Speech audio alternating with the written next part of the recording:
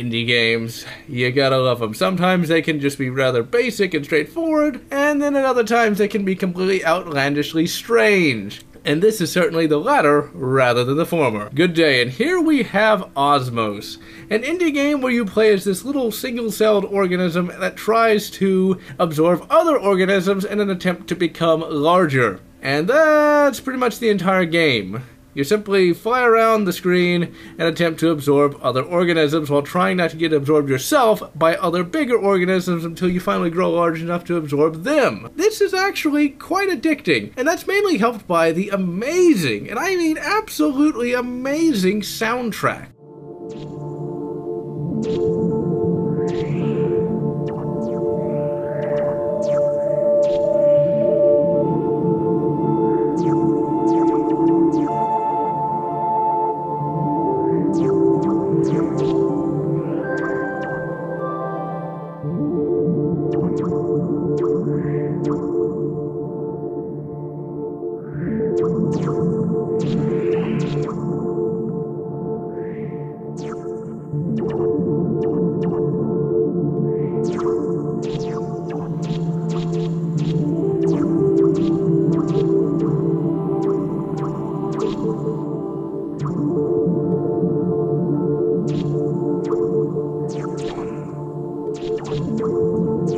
The game is quite soothing in a way. All the visuals, sounds, and gameplay all serve to have a calming influence. And this is definitely one of those games that you don't really play for a long time, but when you actually do, it does brighten your day just a little bit. And so, this is John, signing off.